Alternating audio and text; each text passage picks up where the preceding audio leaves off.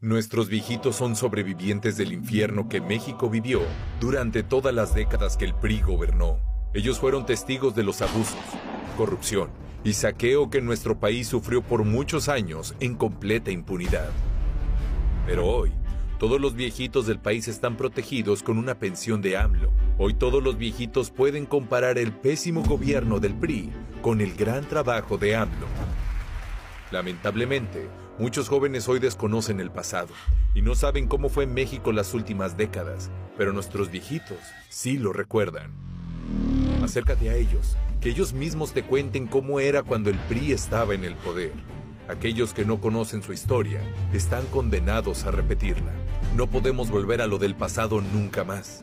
Comparte este video si tú también crees que los viejitos de todo el mundo deberían ser eternos.